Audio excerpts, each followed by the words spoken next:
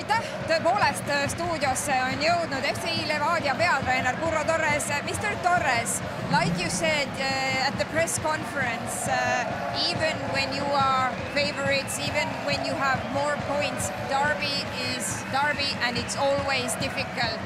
What was it today that made you lose and Flora win? No, Flora, I think is the today is better. The, in the first half, no a good game for, for us. But the second half, okay, possible a little bit improved, but no, no is enough for possible competitive today in, in this game when when derby. Congratulations for Flora, but uh, only the three points. Um, you didn't start with some of the usual players that you sometimes start with. Why? No, the, the normal play the same player, but the only one one player in change is the Fran, but the, uh, every day work very good. I, think the, for today is good. And the, no is the uh, after the, the game is possible uh, complying the different. No, no, no, no. Today is Flora is better. The congratulations for for them. Uh, no is uh, complying. okay,, thank you, Mr Torres, thank you.